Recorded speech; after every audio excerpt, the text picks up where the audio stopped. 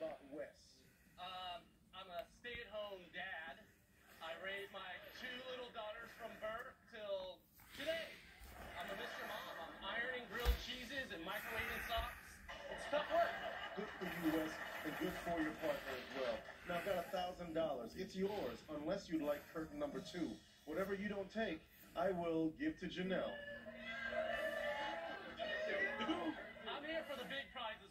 Going for curtain number two. So Janelle, you got a thousand dollars. Ten points. What's behind curtain two? It's a rusty old Model T. This deal's worth nothing. Wes, I can drive it. you know what? I believe that you could, sir, but that is not a chariot fit for a king. Maybe we'll see you at our Zonk Redemption show. Thank you so much, Wes. Take a seat, my friend. Give this Mr. Mom a great round of applause